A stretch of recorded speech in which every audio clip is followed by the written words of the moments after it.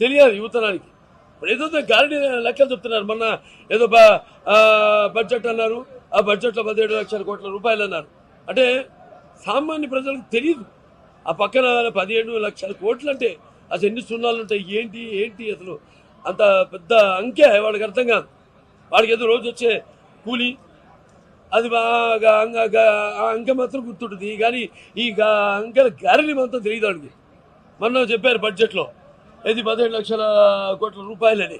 పదిహేడు లక్షల కోట్ల రూపాయలు సుమారు ఏడు లక్షల కోట్ల రూపాయలు విద్యుత్ కన్నా బాగుంది. గిగాబైట్లు అన్నారు. గిగాబైట్ల కంటే అసలు ముఖ్యమంత్రి తెలుసా? మెగాబైట్లకి గి- గిగాబైట్లకి తేడా? తెలీదు. అడిగారు. అడిగితే మేము ఎవరు? దానికి ప్రతిస్పందనగా బెదిరించడాలు వాళ్ళ మీద కేసులు వేయడాలు ఒక మెగా మెగాబైట్తో మొత్తం ఆంధ్ర రాష్ట్రాన్ని మనం విద్యుత్ సరఫరా చేయొచ్చు. గిగాబైట్లు అంటే? ఆలోచించండి. మొత్తం దేశానికి ఇంకా ప్రపంచంలో కొన్ని దేశాలు కూడా మనం విద్యుత్ సరఫరా చేయొచ్చు. అంటే ఇటువంటి దౌర్భాగ్య పరిస్థితుల్లో ఇవాళ వాళ్ళు ఇష్టం వచ్చిన అంకెలు కారడి. అంటే ప్రతిదీ కూడా అదే బసి బస్సు మారడి అని చేయడం అనేది ఒక అలవాటు అయిపోయింది. అలాగే కానీ వాళ్ళు చూస్తున్నాం మనం ఈ యొక్క ఇవ్వగలం ఏదైతే ఉందో ఒక లోకేష్ బాబు ఆయన తిరగడం దానికి ఆయన వివరంగా అందరికి వివరించడం ఏం జరుగుతుంది రాష్ట్రంలో? సో మనం ఎక్కడ పోతున్నాం? రాష్ట్ర పరిస్థితి ఏంటి? ఆర్థిక పరిస్థితి ఏంటి? అనే మొత్తం ఇది రాజకీయంగా కంటే కూడా ఒక విప్లవం ఇది. తెలుగుదేశం పార్టీయే కాదు. మొత్తం అందరూ కూడా విజృంభించాలి. ఈ యొక్క జరుగుతున్న ఈ ఏదైతే పరిణామాలు ఉన్నాయో మన రాష్ట్రంలో ఈ అసహనం అసంతృప్తి ఏదైతే ఉందో మొత్తం అందరూ కంకణబద్దులై వచ్చే ఎన్నికల్లో మేము కోరేది మీరైనా ఇప్పుడు జాగ్రత్త పడి కళ్ళు తెరవాలి. మీ దారిలోగా మీ నడవాలి. మీరే మీ కోసం మీ నాయకుడిని మీరు ఎన్నుకోవాలి. అంటే ఓటు అనే ఆయుధం ఉంది. అదే మీకు రక్షణ అదే మీకు ఆయుధం అని ఇవాళ మన రాష్ట్రంలో చూస్తే మరి ఒక అసమర్థ పరిపాలన చెత్త ప్రభుత్వం అసలు రాష్ట్రం లేని రాజధాని అలాగే ఒక బాధుడే బాధుడు అలాగే ఇదేం కర్మ. ఎవరు చూస్తున్నాం అలాగే పోలవరం ప్రాజెక్ట్ గురించి చెప్పారు. రాగానే ఒక సంవత్సరంలో పోలవరం పూర్తి చేస్తా అన్నారు. అది ఇప్పుడు మూడు సంవత్సరాలు నాలుగు సంవత్సరాలు అయింది. ఇప్పటిదాకా అసలు ఆ పోలవరం ఊసేత్తలేదు. దాని తర్వాత బడ్జెట్ అప్పులు. ఎనిమిది లక్షల కోట్ల రూపాయలు అప్పులు ఎవడమ్మ సొమ్ము? సరే చేశారు. దాంతో ఏదైనా జరిగిందా? ఏదైనా అభివృద్ధి జరిగిందా? అభివృద్ధి లేదు అభివృద్ధి లేదు ఏమీ లేదు. అంతా శూన్యం. దాని తర్వాత ఈ పరిశ్రమలు తీసుకురాలేదు ఇప్పటిదాకా ఒక పరిశ్రమ రాలేదు. ఎవరికి ఉద్యోగాలు లేవు. అందరూ కూడా వలసపోతున్నారు. అలాగే పేదవాళ్ళు. ఈ ముసలి వాళ్ళు ఉన్నారు వృద్ధులు ఆ, పింఛన్ రెండు లక్షల మందికి ఈ యొక్క ఏదైతే పెన్షన్ ఉందో దాన్ని ని- నిలిపేయడం జరిగింది. అలాగే ఈ దా ఇవాళ ప్రభుత్వ ఉద్యోగులు కూడా జీతాలు ఇవ్వలేని పరిస్థితుల్లో ఉన్నారు. అప్పులు రాకపోతే అసలు జీతాలు ఇవ్వలేని పరిస్థితుల్లో ఉంది ఈ ప్రభుత్వం. అలాగే మరి వాళ్ళ ఈ యొక్క మాఫియా ఏదో డ్రగ్స్ మాఫియా గంజాయిలో మన రాష్ట్రం మాత్రం నెంబర్ వన్ స్థానంలో ఉన్నాం. అలాగే రేట్ల విషయానికి వస్తే మనం చూస్తున్నాం విద్యుత్ ఛార్జీలు పెంచేశారు. అలాగే ఆర్టీసీ ఛార్జీలు పెంచేశారు పెట్రోల్ ఛార్జీలు పెంచేశారు డీజిల్ ఛార్జీలు పెంచేశారు.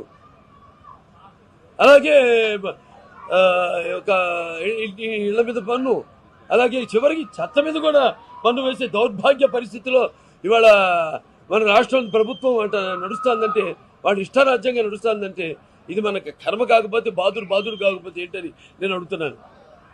అలాగే మనం ఎక్కడికి చూస్తే ఎక్కడ చూసినా ప్రతి నియోజకవర్గంలో ఆ నియోజకవర్గ వాళ్ళ ఎమ్మెల్యేలు ఈ యొక్క శాండ్ మాఫియా అని ల్యాండ్ మాఫియా అని ఇష్టం వచ్చినట్టు వాళ్ళు జనం ఒక ధనాన్ని దోచుకోవడం జరుగుతుంది. అలాగే ఎవరన్నా ప్రశ్నిస్తే వాళ్ళ మీద కేసులేయడం వాళ్ళని బెదిరించడం లేకపోతే హత్య రాజకీయం ఇవన్నీ కూడా చేస్తున్నారు. మన వాలంటీర్ల క్యారెక్టర్ను తప్పు పట్టినది ఎవరో తెలుసా? ఇలాంటి మన వాలంటీర్ల క్యారెక్టర్ని తప్పు పట్టిన వారెవరో తెలుసా?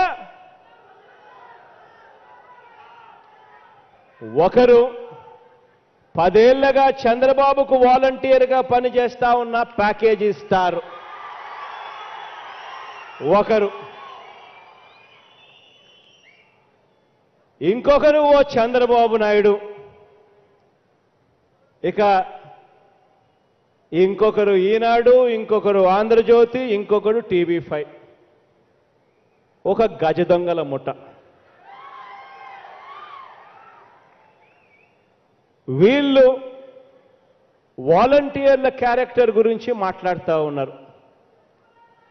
వాలంటీర్ల క్యారెక్టర్ ఎలాంటిదో అదే గ్రామంలో వారికి సేవలు అందుకుంటా ఉన్నా వారి చేత సేవలు అందుకుంటా ఉన్నా కోట్ల మందికి తెలుసు ఆ పిల్లలు ఎలాంటి వాళ్ళు ఆ కోట్ల మందికి తెలుసు ఆ పిల్లలు ఎలాంటి వారు. అలాగే ఈ చంద్రబాబు క్యారెక్టర్ ఎలాంటిదో అలాగే ఈ దత్తపుత్రుడి క్యారెక్టర్ ఎలాంటిదో అది అలాగే ఆయన సొంత పుత్రుడి క్యారెక్టర్ ఎలాంటిదో అలాగే ఆయన బాబమర్ది క్యారెక్టర్ ఎలాంటిదో ఇవి కూడా ప్రజలకు బాగా తెలుసు. వీళ్ళ క్యారెక్టర్ ఎలాంటివో కూడా ప్రజలకు బాగా తెలుసు. మన వాలంటీర్లు అమ్మాయిలను లోబర్చుకున్నారా?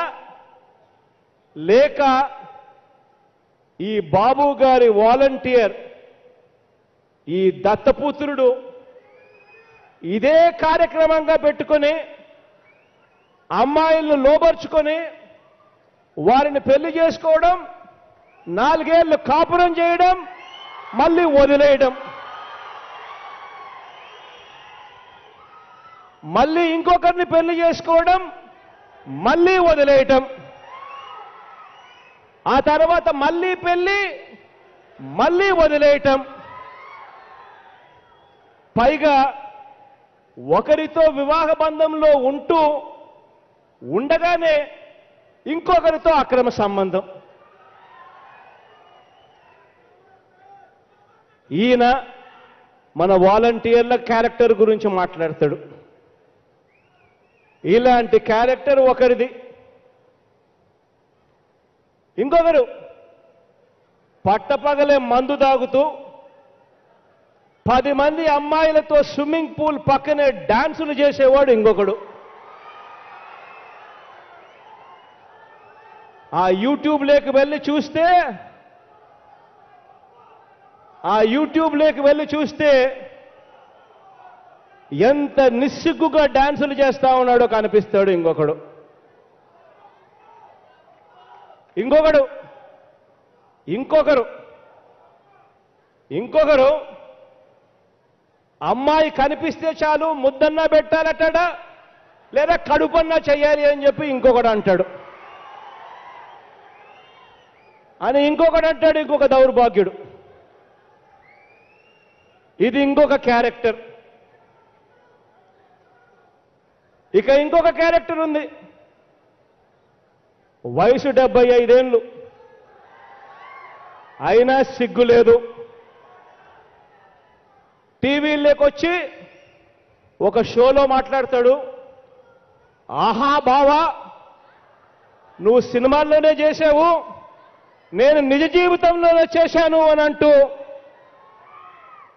ఒక చేసిన వెధవ పనుల్ని గొప్పగా చెప్పుకునే ముసిలాయన ఇంకొకడు.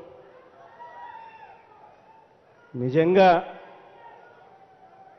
ఇలాంటి వారు ఇలాంటి వారు క్యారెక్టర్ లేని వీరంతా మంచి చేస్తున్న మన వాలంటీర్ల గురించి తప్పుడు మాటలు ప్రచారం చేస్తుంటే ఇది కలియుగం కాక మరి ఏమిటి అని అడుగుతా ఉన్నా.